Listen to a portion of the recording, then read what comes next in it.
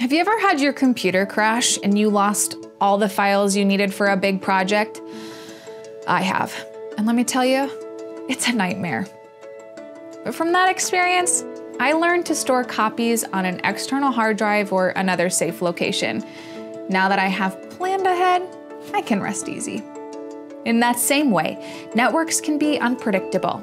So, a backup for the configuration of your Cisco Business Wireless CBW access point can really save the day. Planning for just in case doesn't take long, gives you security, and can be a big time saver down the road. In this episode of Cisco Tech Talk, I'll show you how to back up and restore the configuration of your CBW access points.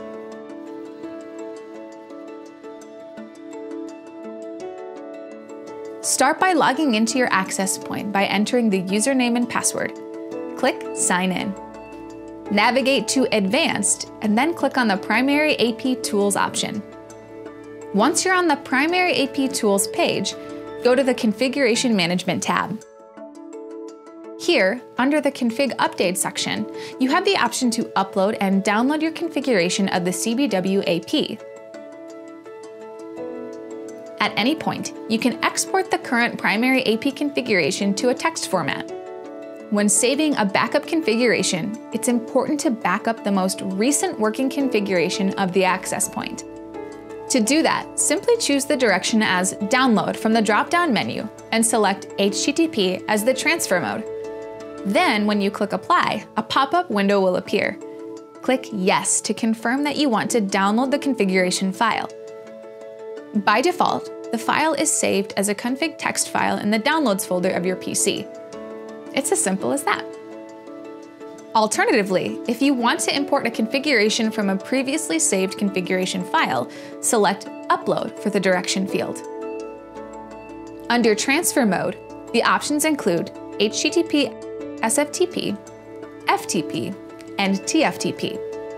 If you select SFTP, FTP, or TFTP, then you must enter the mandatory parameters like file path, file, name, and IP address.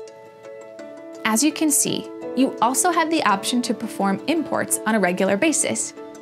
To set this, you enable the Schedule Update toggle and then configure the frequency. The frequency options are once, hourly, weekly, or monthly. After you specify the day and time, just click Apply. By default, the Schedule Update option is disabled on the CBW AP.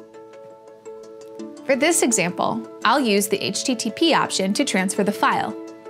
Once you click Apply, a pop-up window will appear. Click Browse to locate the configuration file from the Downloads folder. After selecting the file, simply click Open and then click Yes.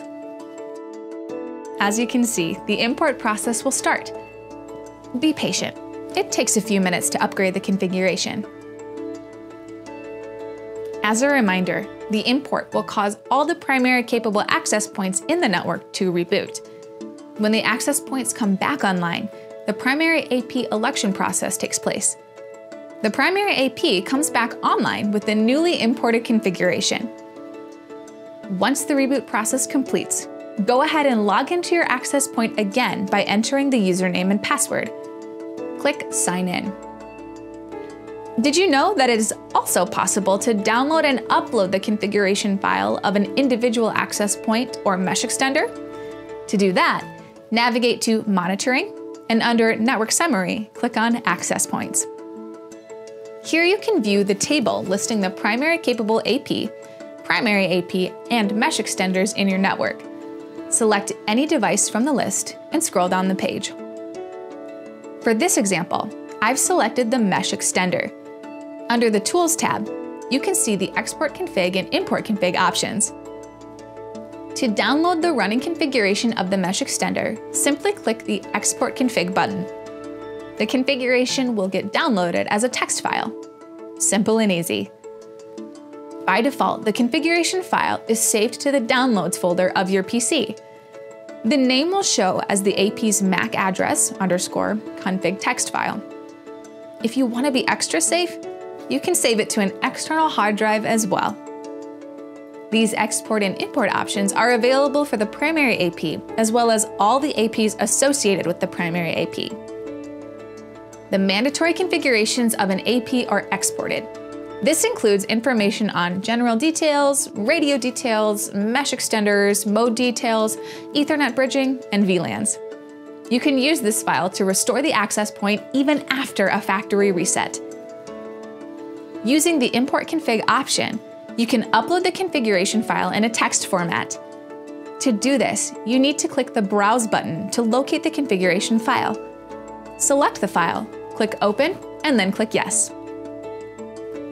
Once the configuration has been applied successfully, you will see a notification in the web UI of your AP. It's important to note that non-mesh AP configuration files should not be imported to mesh deployment APs. Also, after uploading the configuration to the AP, it normally takes one to two minutes to take effect. You may notice that the LED of the AP will change from solid or blinking green to blinking amber while the configuration is being applied. It goes back to blinking green once the upload is complete. That's it! You know all you need to know to make sure your CBW AP configuration is backed up, and it'll be there for a restore if needed. Now it's up to you to stay on top of it.